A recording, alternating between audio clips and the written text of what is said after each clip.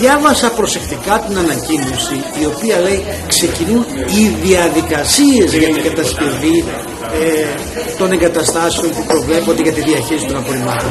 Δεν μιλάει για ξεκίνημα των έργων. Εγώ λοιπόν θα σχολιάσω για άλλη μία φορά και θα πω θα απευθυνόμενος και προσωπικά στον κύριο Νίκα ότι κάποια στιγμή θα πρέπει να σκεφτεί αυτά που έλεγε μέχρι το 2016 αρχές του 2017 να σκεφτεί ότι αυτά κάποια στιγμή τα υιοθέτησε ένα μεγάλο κομμάτι δημάρχων και δημοτικών συμβούλων και δημοτικών αρχών σε όλη την περιφέρεια. Βέβαια τότε μετά είχαμε την εγκατάλειψη αυτών των θέσεων από πλευράς τους και πάντα από πλευράς του και πάντα υπήρχε το επιχείρημα δεν μπορούμε να κάνουμε αλλιώ, αλλιώς είμαστε το παραπέντε. Από τότε όμως πέρασαν τρία χρόνια άγωνα και δυστυχώς αν είχαμε εισακουστεί εμείς και ξεκινήσει από την αρχή ο σχεδιασμός σήμερα θα υπήρχαν εγκαταστάσεις. Σήμερα λοιπόν τα πράγματα είναι ως εξής.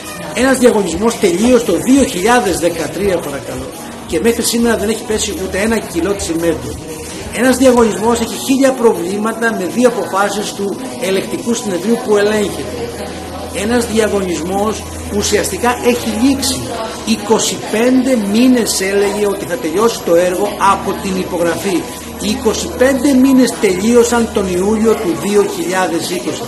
Για ποιο έργο μιλούν; Η προγραμματική σύμβαση με, την, με το φορέα διαχείρισης απορριμμάτων έχει λήξει. Έχει λήξει και δεν ανανεώθηκε με κανενός την πρωτοβουλία.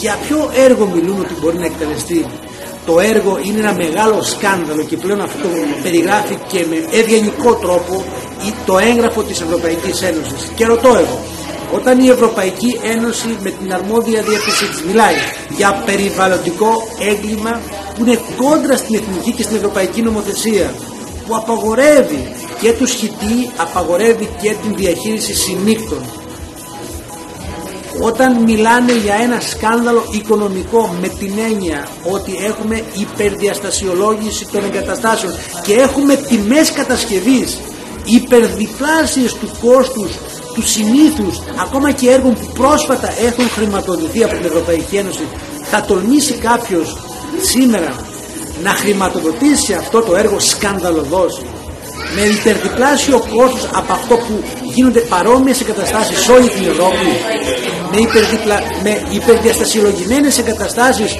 που εξυπηρετούν και άλλους σκοπούς. Αλλά αυτές θα κληθούν με υπέρογκα τέλη να τους ξεπληρώσουν οι Πελοποννήσοι αυτή τη στιγμή ξέρουν όλοι στην κυβέρνηση και στο συνέδριο που κάναμε πριν το 18 το Νοέμβριο στην Σπάρτη, στο Μιστρά, ακούστηκαν από υποψήφιο ευρωβουλευτή μετέπειτα της Νέας Δημοκρατίας ότι δεν μπορεί να χρηματοδοθεί ούτε από ευρωπαϊκούς πόρους αλλά ούτε και από εθνικούς. Τότε δεν υπήρχε η αρνητική, το αρνητικό έγγραφο από την Ευρωπαϊκή Ένωση. Όταν υπόθηκαν αυτά από τον Γιώργο τον Κρεμλή, αργότερα υποψήφιο ευρωβουλευτή με τη Νέα Δημοκρατία. Τι προσπαθούν να κάνουν σήμερα, τι προσπαθούν να κάνουν, επειδή λοιπόν αυτή ήταν μια σημαντική μέρα, λέω ότι κάποια στιγμή η δημοκρατία πρέπει να λειτουργεί θεσμικά. Να σεβόμαστε τους θεσμούς, να σεβόμαστε τους νόμους, τα δικαστήρια, το ελεκτικό συνέδριο. Το Συμβούλιο Επικρατείας που οίκοθεν έχει αναβάλει την, την, ε, το, ε, την προσφυγή που έχουν γίνει για τους περιβαλλοντικούς όρους 20 φορές οίκοθεν. Γιατί ξέρω ότι αν συνεδριάσει θα πρέπει να πει όχι σε αυτό το έργο το εγκληματικό όσον αφορά το περιβάλλον.